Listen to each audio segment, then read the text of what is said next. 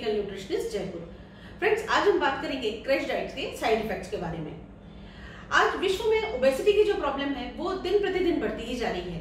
और इस ओबेसिटी की प्रॉब्लम का बढ़ने का मेन कारण है हमारी आधुनिक लाइफस्टाइल हमारे आज की जो जीवन शैली है, उसके अंदर हमारा जो ईटिंग पैटर्न है, या हमारा लॉन्ग टाइम तक सिटिंग वर्किंग आवर्स होते हैं, उसके अलावा स्लीप पैटर्न जो कि बहुत डिस्टर्ब हो चुका है बहुत हेक्टिक लाइफस्टाइल है, बहुत स्ट्रेसफुल जो लाइफस्टाइल है, उसके कारण कहीं ना कहीं हर व्यक्ति का वेट बढ़ता ही जा रहा है।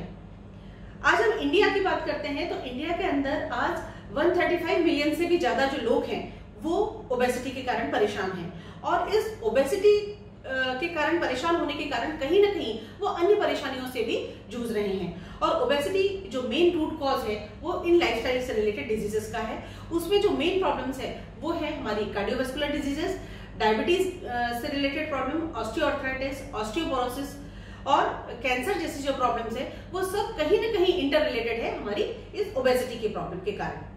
और इस मोटापे की प्रॉब्लम को कम करने के लिए स्पेशली जो यंग जनरेशन है प्री ब्राइडल्स हैं, मॉडल्स हैं, एयर होस्टेसेस हैं, इस टाइप का ये जो ग्रुप है, या जो फ़ैशन जगत से जुड़े हुए लोग हैं, वो ये चाहते हैं कि कम से कम समय के अंदर वो ज़्यादा से ज़्यादा वज़न कम कर पाए। और उसके लिए वो लोग ऐसे डाइट्स को फॉलो करते हैं जो कि बहुत शॉर्टकट पैटर्न्स हों, और उनको हम क्रैश डाइट्स कहते हैं। उन जो डाइट्स हैं, उनको फॉलो करने से एक बार में तो इनका वज़न आठ से दस किलो तक कम हो जाता है। लेकिन इनको ये लॉन्ग टर्म तक फॉलो करते रहते हैं। और लॉन्ग टर्म तक फॉलो करने से इनके हेल्थ पर बहुत बुरे प्रभाव पड़ते हैं। ऐसे डाइट्स में कुछ डाइट्स हैं, जैसे कि लो कार्ब डाइट्स हैं या लो फैट डाइट है वेगन डाइट है पेलियो डाइट्स हैं, या कुछ कमर्शियल सप्लीमेंट्स हैं कमर्शियल पिल्स को भी कुछ लोग यूज़ करते हैं, जो कि बेसिकली एपेटाइट सप्रेसेंट होते हैं और उनके हेल्थ के ऊपर बहुत बुरे प्रभाव पड़ते हैं। ऐसे जो डाइट्स हैं या जिसे हम बेसिकली क्रैश डाइट्स कहते हैं क्रैश डाइट्स के कारण एक बार वाटर लॉस के कारण आपका वेट रिड्यूस होता है। लेकिन वाटर लॉस के साथ साथ आपका मसल लॉस भी होता है, जो कि बहुत ही सीरियस हेल्थ प्रॉब्लम बन जाती है। उसके अलावा भी कुछ हेल्थ प्रॉब्लम्स होती हैं, जैसे कि आप में एनर्जी लेवल का कम होना बेसल मेटाबॉलिक रेट कम होना इम्यूनिटी का कम होना स्किन हेयर और नेल्स से related problem digestive related problem bowel movements कम हो जाते हैं क्योंकि एनर्जी लेवल कम रहता है तो नेचुरली स्ट्रेस बहुत ज़्यादा होता है। और स्ट्रेस होने के कारण वापस से आपका वेट जो है, वो रिबाउंस करता है या दुगनी गति से बढ़ता जाता है। इसके कारण व्यक्ति में एक नेगेटिविटी आने लग जाती है कॉन्फिडेंस की कमी हो जाती है। तो इस टाइप की बहुत सारी जो प्रॉब्लम्स है, वो कहीं ना कहीं इस कीटो डाइट को फॉलो करने के कारण या इस टाइप की क्रैश डाइट को फॉलो करने के कारण होती है। कई बार बॉडी के अंदर कीटोन्स बॉडीज भी बढ़ने लग जाती हैं और कीटोन बॉडी से भी बनती है तो नोजिया की प्रॉब्लम वॉमिटिंग की प्रॉब्लम और कुछ जो हमारे इंपॉर्टेंट ऑर्गन्स है, जैसे कि लीवर किडनी ये भी डैमेज होने की प्रॉब्लम हो सकती है।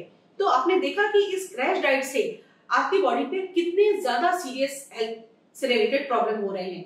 ये जो क्रैश डाइट्स हैं बेसिकली इसके अंदर मिनरल्स विटामिन कैल्शियम्स ये सब मात्रा बहुत कम होती है। यानी देखा जाए तो ये न्यूट्रिशनली बहुत अप टू द मार्क नहीं होती हैं और न्यूट्रिशन इसमें कम होने के कारण कहीं ना कहीं आपको न्यूट्रिशनल डिफिशियंसीज भी इसके कारण बॉडी के अंदर होती हैं। तो अभी हमने क्रैश डाइट्स के साइड इफेक्ट्स के बारे में जाना। एज ए क्लिनिकल न्यूट्रिशनिस्ट मैं आपको कुछ साइंस बेस्ड हेल्थ टिप्स देना चाह रही हूँ, जो जिससे कि आपका जो वेट लॉस हो, वो परमानेंट वेट लॉस हो, और वो कभी भी रिबाउंस नहीं होगा। एक व्यक्ति को आइडली 1500 से लेकर 2000 तक किलो कैलोरी की पर डे रिक्वायरमेंट होती है। और यदि वो वेट लॉस प्लान के लिए जाता है तो आइडल वेट लॉस जो है वो दो से तीन किलो तक उसका होना चाहिए। इससे ज़्यादा यदि वेट लॉस होता है तो नेचुरली कहीं ना कहीं बॉडी के अंदर आपकी डिफिशियंसीज होती हैं। यदि आप वेट लॉस प्रोसेस के लिए जा रहे हैं तो आपको ये चीज़ ज़रूर ध्यान में रखनी चाहिए कि आपका जो डाइट है, वो प्रॉपर बैलेंस रूप से आपको लेना है, जिसमें कि carbohydrate proteins fats vitamin minerals ये सभी जो न्यूट्रिशनल जो एलिमेंट्स है, वो प्रॉपर मात्रा में होने चाहिए। उसके लिए आपको आपके आहार में साबुत अनाज, दालें, फल, सब्ज़ियाँ, सूखे मेवे मिल्क और मिल्क से रिलेटेड जो भी प्रोडक्ट्स हैं, वो आपको आपके आहार के अंदर शामिल करने चाहिए। आपको पानी बहुत अच्छे से पीना चाहिए। तीन से चार लीटर तक आप पानी दिन भर में ज़रूर पिए, क्योंकि पानी जितना आप पिएँगे बॉडी से आपके टॉक्सिन्स जो है वो रिमूव होंगे। पानी यदि आपसे नॉर्मल नहीं पीने में आता है तो आप उसको डिटॉक्स वाटर्स की तरह भी यूज़ कर सकते हैं। उसके अंदर आप कुछ हर्ब्स और स्पाइसेस को यूज़ कर सकते हैं। जैसे आप उसके अंदर जिंजर डाल सकते हैं, आप सिनेमन डाल सकते हैं, आप बेसिल लीव्स को यूज़ कर सकते हैं, आप ब्लैक पेपर यूज़ कर सकते हैं।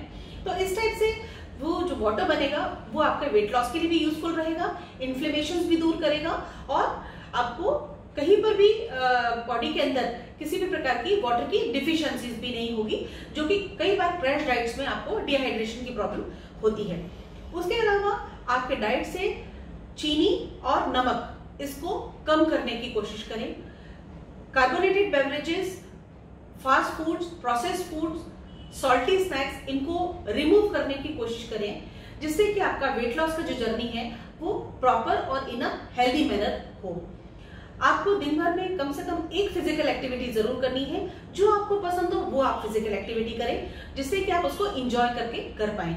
आठ से दस घंटे की साउंड स्लीप होना ज़रूरी है, क्योंकि यदि आप प्रॉपर स्लीप लेते हैं तो naturally stress boosters hormone secrete होते हैं और आपकी बॉडी में स्ट्रेस नहीं रहेगा तो वेट लॉस की जर्नी भी आपकी प्रॉपर होगी। तो इस तरह से आपने देखा कि यदि आप होलिस्टिक वेट लॉस प्लान को अपनाते हैं प्रॉपर वेट लॉस प्लान के लिए जाते हैं और न्यूट्रिशनली साउंड प्लान के लिए जाते हैं तो आपकी बॉडी से वेट लॉस तो होगा परमानेंट वेट लॉस होगा, किसी भी प्रकार की कोई न्यूट्रिशनल डिफिशियंसीज आपकी बॉडी में नहीं होगी और सबसे जो मेन थिंग है वो पॉजिटिविटी और कॉन्फिडेंस होगा। तो प्लीज़ आप क्रैश डाइट्स के लिए नहीं जाए। क्रैश डाइट्स की जगह आप normal scientific based holistic weight loss plan को अपनाएँ, जो कि पूरी तरह से बैलेंस डाइट हो। तो आई होप आपको हमारा ये आज का वीडियो बहुत पसंद आया होगा। आप उसको लाइक कीजिए, आप उसको सब्सक्राइब कीजिए और आप उसको शेयर कीजिए। Till then bye bye take care